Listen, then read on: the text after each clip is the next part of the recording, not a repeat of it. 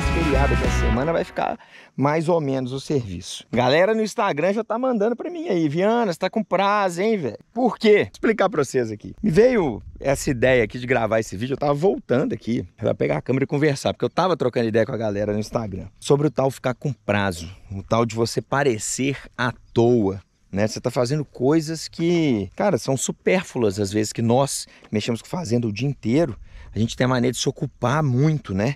A mania é gostosa, para quem gosta de trabalhar é bom demais. Toda hora que você quiser tem um serviço para fazer. E aí, de repente, você dá uma parada, igual num feriado desse aqui, Hoje, feriado, a gente está tentando trabalhar. Eu fui arrumar o alternador do carro, aí desmanchou, mas aí precisava de uma outra oficina que está fechada. Aí falei, vou regular a bomba injetora da caminhonete. Não dá, o bombista está de folga também. Então nada funciona. Funciona tudo pela metade. E aí, pela metade não adianta. É melhor não fazer, você vai ficar gastando tempo à toa. Então, nessa andança, eu acabei postando que eu fui parar numa loja de bicicleta. E a galera cai em cima, cai matando, né? Como fala? Com boa intenção, com ironia mesmo, mas de amigo. Viana está com prazo e tal, tal. Então, deixa eu explicar por que minha rotina mudou muito. Eu tava percebendo isso quando eu tava conversando hoje com a galera no Instagram. O tanto que minha rotina já mudou, eu não tinha percebido. Cara, eu tô com muito tempo para mim, sabe? Assim, pelo que eu tinha de tempo, eu tô achando ótimo. Eu consegui ir lá, olhar uma bicicleta que eu tenho que trocar uma outra do meu menino, fazer revisão, e de repente eu vou parar aqui agora, a família veio aqui pra fazenda, a gente vai fazer um churrasquinho. Eu não parava para isso, não. Mas por que, que você não parava, Viana? Porque a gente tinha uma atividade muito mais intensa na fazenda do que hoje ela é, que é a atividade leiteira. A atividade leiteira, galera, ela é uma atividade maravilhosa, mas ela você tem que saber, você que mexe já sabe, você que ainda não mexe tem que entender, e você até que é consumidor e está assistindo, o nível de dedicação para essa atividade ela é, ela é extremo. A fazenda você pode trabalhar todo dia, mas o leite ele é obrigatório. Pode estar chovendo, acabou a energia, tal hora você tem que ir lá buscar vaca, ordenhar e, e aí vai. E o que, que aconteceu? A gente fez uma redução muito grande do rebanho de leite no final de 2000 e 2000 e não, final de 2000 e 20, final de 2020. Porque eu peguei esse, o negócio do leite como sucessão, né? E os animais não estavam de acordo com a aptidão do local, cara. Eram animais mais puros, numa, num local que chove pouco. A gente ainda com problema de pastagem para poder recuperar e tudo. Então não estava legal. Eu reduzi. Porque se o negócio não, não tivesse dando certo, eu tinha que reduzir para fazer dar certo. Então eu reduzi para um formato que a gente tira leite uma vez por dia, que é de manhã, e à tarde põe os bezerros para mamar. Eu tenho colaborador na fazenda que faz isso, mas hoje o colaborador colaborador que faz isso, na verdade são dois que tocam a parte de pecuária. São os vaqueiros, né? Então eles fazem essa ordenha do gado e ainda olha o gado de corte. E o que, que acontece? Quando você vai para a pecuária de corte, você tem a maior parte do seu rebanho na pecuária de corte, o seu tempo é mais ou menos isso aqui. Ó. Vou tentar ilustrar para quem não entende de fazenda, quem não vive isso aqui. Tempo fechou assim, o que que no corte acontece? É isso aqui, ó. Tá vendo? Paradeira, para tudo. Porque tá chovendo. Você não vai ficar levando gado em curral. A não ser que você esteja numa estação de monta, para fazer inseminação ou para curar um animal. Mas você não vai ficar inventando manejo com gado no curral. Não vai. Então você fica aqui, ó, esperando que o pasto crescer. Quando você está na seca, é um desespero o corte. O corte é um desespero na seca. Porque o gado está num pasto, aí o pasto está acabando, o gado começa a avançar em cerca, começa a querer ir para açude, você troca e leva para um pasto de lá, depois traz para cá. É confusão, entre aspas, tá? Confusão é o seguinte, você tem que estar tá manejo mais intenso toda hora, toda hora. Suplementação no coxo, tal, tal, tem que ficar correndo atrás. Quando vem as águas, a gente tem um período que é um pouquinho tenso aí no, no corte, que é quando começa a crescer o pasto. Olha aqui, tá começando a crescer. O que que dá ocupação na gente, né? Qual que é o problema? Você não pode deixar o gado montar em cima do broto. Começou a brotar, você tem que tirar o gado, você tem que reservar o passo para a planta subir e depois estiver na altura ideal, você colocar o animal para comer até uma altura mínima ideal, para você não sacrificar a sua forragem, né? Então, é um momento de transição que a gente fala. Transição da seca para as águas, fica um momento mais intenso. Quando a gente já está nesse momento aqui que já está chovendo, o gado já empastou, a gente começa a ver aquilo ali, ó. Vendo? O gado está aqui parado, ó andando com os filhotinhos no pé, aqui é gado de cria, isso aqui é até de um vizinho meu, gado de cria, bezerrinho mama na mãe, a vaca tá comendo e aí vai. Não adianta ficar inventando. Você vai ter boia de tanque para trocar, tanque que está vazando, cerca que está quebrada. Tem. Isso aí você vai estar tá sempre arrumando. Mas não adianta querer inventar serviço em época de chuva intensa, tal, se você já planejou, né? se você já está estruturado para chegar na época das águas. Você vai ficar com alguns manejos de rotina. Pegar um cavalo todo dia e olhar o gado no pasto, sabe? É mais ou menos assim. É impressionante como a gente tem que se reprogramar. E quando eu comecei a responder os directs da galera, zoando, eu me dei conta que meu estilo de vida já tinha mudado. falei, cara, eu tô mais, mais tranquilo mesmo, eu tô conseguindo fazer minhas coisas de novo, sabe? É... Isso é muito legal, galera. É muito legal a gente pensar nisso. E agora que eu percebi mesmo, por exemplo, eu tô gravando esse vídeo aqui, ó. Tô tranquilo. Mas nem por isso as atividades estão largadas. Porque a gente já conseguiu chegar aqui, depois de cinco anos mexendo na fazenda, assumindo, né, fazendo essa sucessão.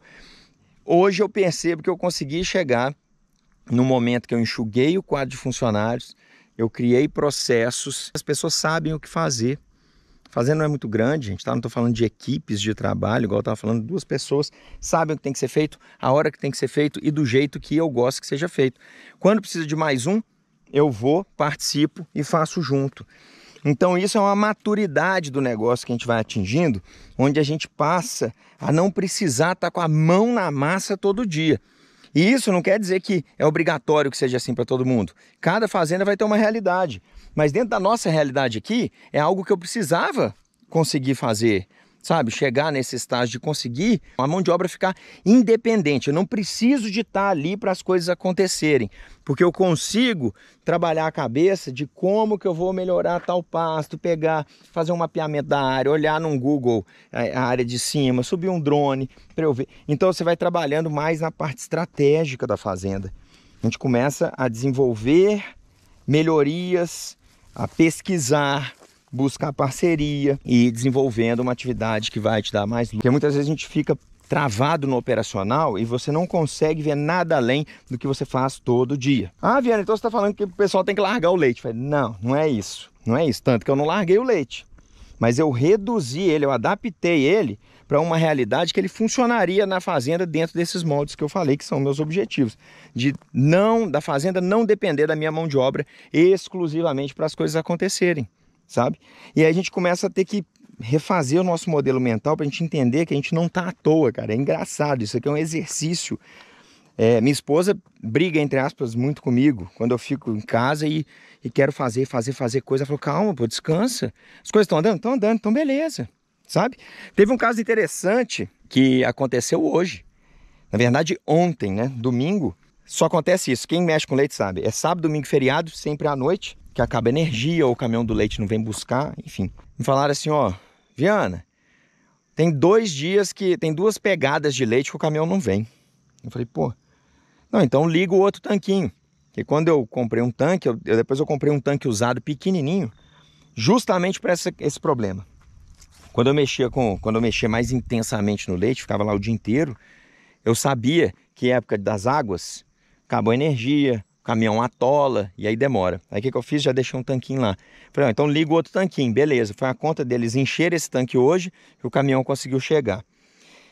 E ao mesmo tempo, eu não quero que vocês pensem assim, ah, é fácil fazer desse jeito, Viana. Arruma dois tanques, não tem energia, arruma gerador, né?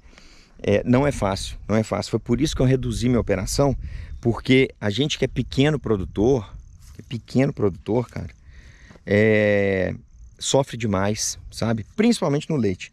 Porque o meu cam o caminhão não passou para buscar, mas buscou dos caras que produzem muito. A minha produção que é pequena ficou de fora. E se eu não tivesse o tanquinho Brauna, Brauna não vai dar temperatura, eles não vão buscar meu leite, ferro, quem vai pagar a conta? Ninguém, você sabe que ninguém. Acabou a energia, ah, mas você não tem gerador, então vai comprar, cara. Vai comprar para você ver. Aí você começa a comprar um tanto de equipamento para ser backup daquilo que você já paga para ter o serviço. Backup do backup, é o segurança do segurança. E isso, cara, mina o pequeno produtor.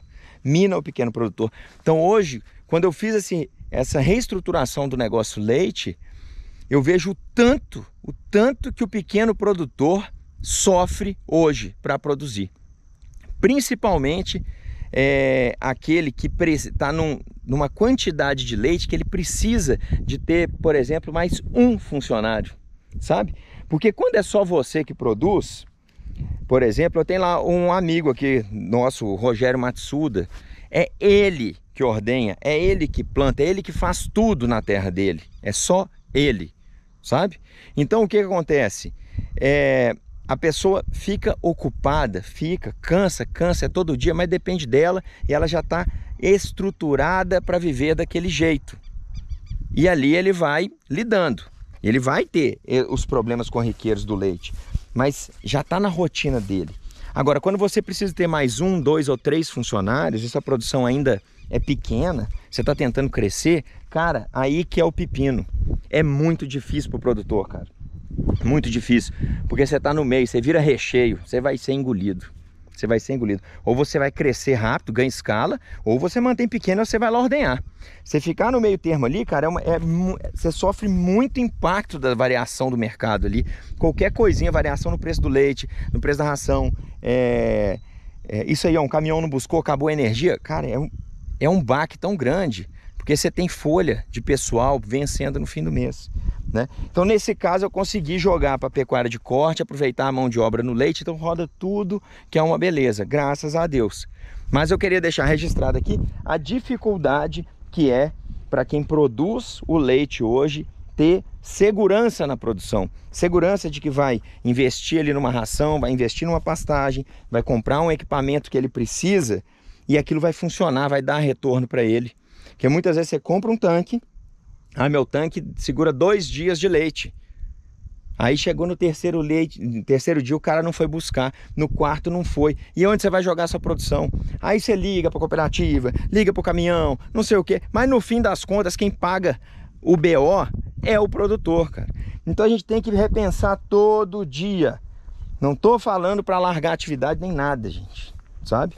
E nem falando que a atividade de corte é mil maravilhas também não tá? É igual leite, tem que fazer conta, tem que estruturar pasto, tem que estruturar, enfim, se você é confinamento, confinamento, aí vai entrar com dieta, reprodução tem que ficar em cima, vaca não pode rodar vazia, enfim, você precisa se estruturar fisicamente com a sua, a sua propriedade, seja divisões de pasto, pastagem, estrutura de barracão, equipamentos, tratores, enfim, tudo, fisicamente e mentalmente, tá? Mentalmente, principalmente mentalmente. Você precisa saber o que você está fazendo, se é aquilo que você quer e se você está satisfeito. E se você estiver tendo problemas corriqueiros, gente, toda hora você toma uma porrada, outra porrada, outra porrada, você tem que entender que algo tem que ser feito, tem que mudar. Não adianta só ficar reclamando. Você tem que descobrir o que, que você pode fazer para melhorar a sua vida. Seja é, mudando a atividade ou re, reestruturando sua atividade ou talvez até simplesmente mudando o seu modelo mental, a forma como você enxerga, enxerga aquilo que você faz hoje. Enfim, uma prosa aqui do nada, eu estava chegando aqui, aqui em casa e, e pensei nisso, porque realmente eu tive um, uma visão agora do tanto que meu dia a dia mudou e nem por isso eu estou trabalhando menos não.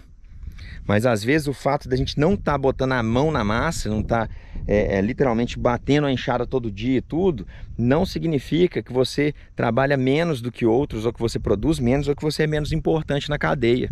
Tá? É importante quem assiste, você que está assistindo, a galera aí do Instagram, entender a valorizar todos os tipos de atividade. Aquela que depende de uma única pessoa, que ela pega na enxada, ela ordenha a vaca, ela que vai lá curar o bezerro, ou daquela que o cara está gerenciando, sei lá, 100 funcionários, 300, 5 mil funcionários numa fazenda, e ele nem encosta na máquina, ele fica dentro de uma sala e sai de vez em quando para o campo. Porque todos têm seu papel na cadeia. O importante é o resultado, galera. É o resultado. Sacou? Então é isso aí. Aquele abraço para vocês. Vamos esperar o pasto crescer, o feriado passar. Espero que tenham entendido as palavras. Se não entendeu, põe no comentário. Só não arruma briga não, tá bom? Aquele abraço.